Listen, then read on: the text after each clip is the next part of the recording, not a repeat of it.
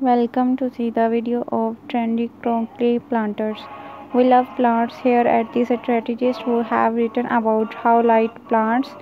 of the uh, of the radar, indoor plants, status plants, pet safe plants and more much more. The right plants can go a long way towards transforming an interior space but not if you leave it in the plastic nursery pot. Many are sold in at plant stores or shipped to your door if you order your plant online.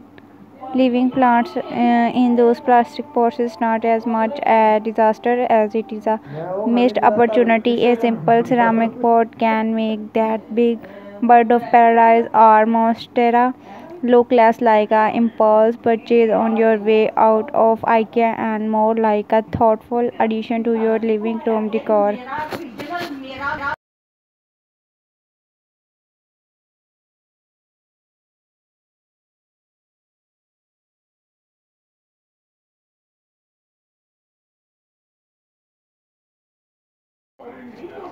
If you are nervous about repotting, don't worry, you can probably leave your plant in that plastic pot for now. Just get a slightly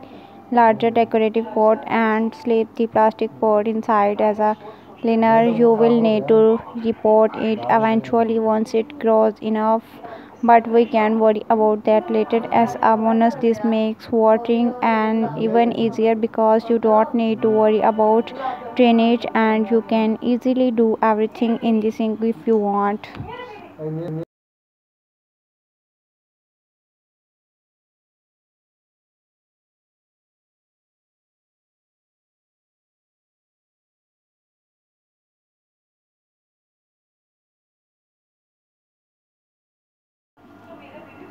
if you want to update your indoor greenery and zhuzh up your decor at the same time you will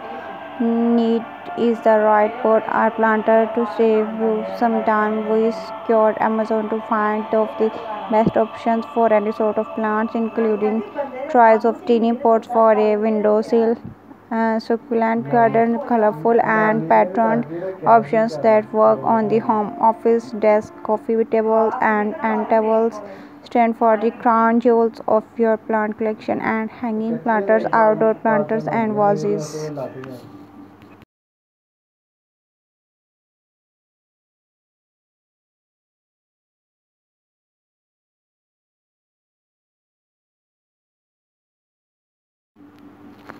At first glance, this planter might look like a delicate cane, but it's a, uh, actually ceramic, making it both